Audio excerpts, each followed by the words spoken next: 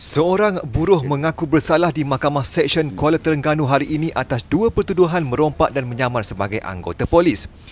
Tertuduh Megat Muhammad Iraj Muhammad Zainuri, 41 tahun, membuat pengakuan itu di hadapan Hakim Nuriah Osman. Bagi pertuduhan pertama, tertuduh didakwa melakukan rompakan ke atas seorang remaja perempuan berusia 17 tahun sebanyak RM50. Perbuatan itu dilakukan di tepi jalan Kampung Ru Rendang dekat Marang jam 1 petang 3 Februari lalu. Bagi pertuduhan kedua, tertuduh didakwa menyamar sebagai anggota polis pada hari, masa dan di lokasi sama. Mahkamah membenarkan tertuduh diikat jamin RM10,000. Tarikh jatuh hukum ditetapkan 28 Februari ini. Ya, naik balik ya.